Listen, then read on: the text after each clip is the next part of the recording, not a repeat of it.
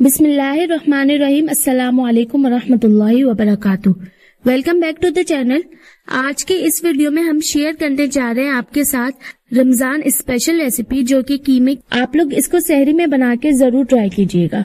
तो स्टार्ट करते हैं आज की रेसिपी। सबसे पहले हम एक पेस्ट रेडी करेंगे, जिस ब्लेंडर में शामिल करेंगे 10 से 15 लहसुन के जबे अदरक, चार हरी मिर्चे, और अब शामिल करेंगे कुछ गरम मसाले, जिसमें शामिल है पाँच छोटी इलायची, दो बड़ी इलायची, दो दालचीनी के टुकड़े, दो दो इंच के, दस से पंद्रह काली मिर्चे, पाँच से सात लौंग और थोड़ी सी जायफल और जावित्री। अब इन तमाम चीज़ों को हम ब्लेंडर के अंदर शामिल करेंगे और थोड़ा सा टू टेबल स्पून के करीब पानी शामिल करेंगे और इसको ब्लेंड करके एक अच्छा सा स्मूथ सा पेस्ट रेडी कर लेंगे। अब पैन के अंदर शामिल करेंगे हम हाफ़ कप ऑयल। और उसमें शामिल करेंगे दो दरमियाने साइज़ के प्याज बारीक कटे हुए। हमने इस प्याज को गोल्डन ब्राउन नहीं करना है, बल्कि सिर्फ़ कलर चेंज होने तक थोड़ा सा पकाएँगे। फिर इसमें शामिल करेंगे हम एक किलो कीमा। अब इस कीमे को हम अच्छी तरीके से फ्राई कर लेंगे। जब तक कि इसका कलर चेंज नहीं हो जाता। जब हमारे कीमे का कलर चेंज हो जाएगा, फिर हम इसमें शामिल करेंगे जो हमने पेस्ट रेडी करके रखा था, वो पेस्ट वन टेबल स्पून नमक वन टेबल स्पून पिसी लाल मिर्च वन टेबल स्पून धनिया पाउडर और अब इन सब चीज़ों को अच्छी तरीके से मिक्स कर लेंगे।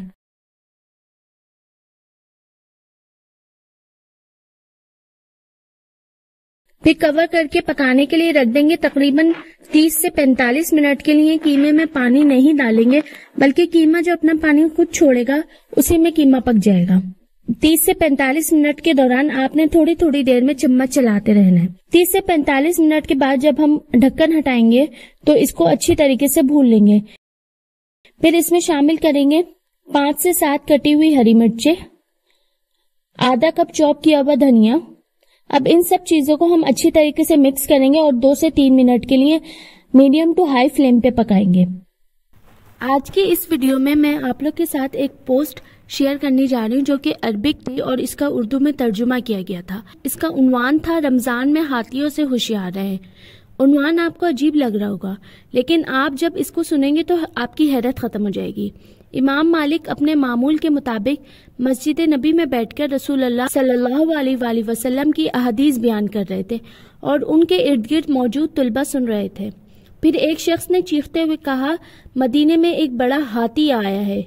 मदीने वालों ने इससे पहले कभी हाथी नहीं देखा था और मदीने में हाथी होते भी नहीं थे। चुनाचा तमाम तलबा हाथी को देखने के लिए दौड़ पड़े और इमाम मालिक को छोड़कर चले गए, सिवाय याहिया बिन याहिया लेसी के।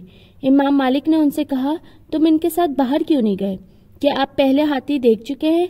याहिया ने कहा, मैं शहर मदीना इमाम मालिक को देखने आया हूँ, हाथी देखने नहीं। अगर हम इस वाक्य पर गौर करें तो हम पाएँगे कि वहाँ मौजूद लोगों में से सिर्फ़ एक शख्स जानता था कि वो क्यों आया है और उसका मकसद क्या है। इसलिए वो मशगूल नहीं हुआ। उसने अपनी तोानाइयाँ दाएँ बाएँ ज़ाया नहीं की, जबकि दूसरे लोग बाहर निकलकर तमाशा देखने लगे। अब जानते हैं उन लोगों का और याहिया बिन याहिया के दरमियान का फ़र्क। इमाम याहिया बिन याहिया रहमतुल्लाह अलैह की रिवायत इमाम मालिक से अलमूता के सिलसिले में सबसे ज़्यादा मुस्तनद है, जबकि दूसरे तलबा जो तमाशाई थे, तारीख ने उनका ज़िक्र हमसे नहीं किया। हमारे ज़माने में भी बार बार हाथी को लाया जा रहा है, लेकिन अलग अलग शक्लों में और मुख्तलिफ़ तरीक़ों से। रमज़ान में दो किस्म के लोग होते हैं।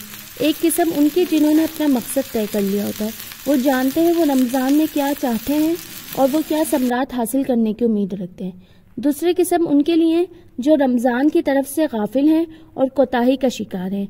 मुख्तलिफ़ किस्म के हाथियों ने उन्हें मुतवजा कर रखा है। टीवी चैनल्स, सीरियल्स, फ़िल्में, ये सब इस ज़माने के हाथी हैं।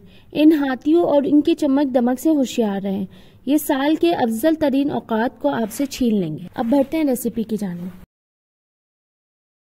सब चीज़ों को अच्छी तरीके से मिक्स करेंगे।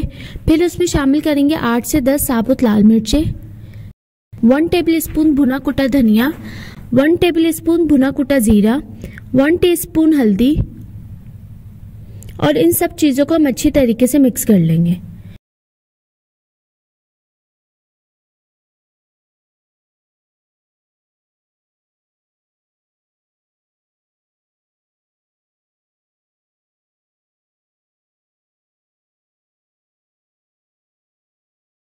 उसके बाद इसमें शामिल करेंगे एक किलो कीमा।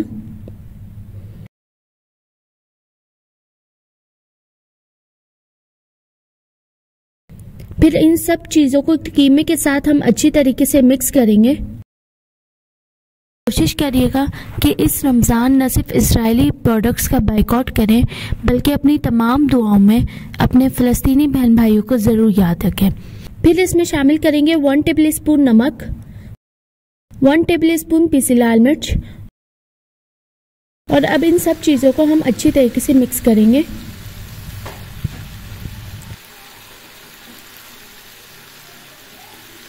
और ढककर पकाएँगे। इसमें हम पानी शामिल नहीं करेंगे, क्योंकि जो कीमा है वो अपना पानी खुद ही छोड़ेगा और उसी पानी में पक जाएगा। तो हम तकरीबन आधे घंटे के लिए इस कीमे को ऐसे ढक के छोड़ देंगे। उसके बाद इसको भून लेंगे। लेकिन हमने बहुत ज़्यादा इस कीमे को नहीं भूनना है, क्योंकि ये खड़े मसाले का है।